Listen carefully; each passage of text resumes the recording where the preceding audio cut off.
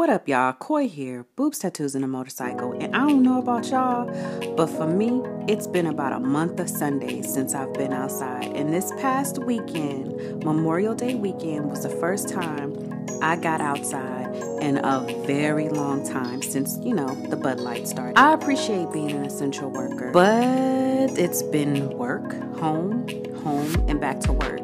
And just getting out and feeling the sun on my skin for the first time in a long time, hearing a dog bark, feeling the breeze, talking to people, just made me realize that I am not a robot. I am a human and I need these human experiences. And without them, where would we be?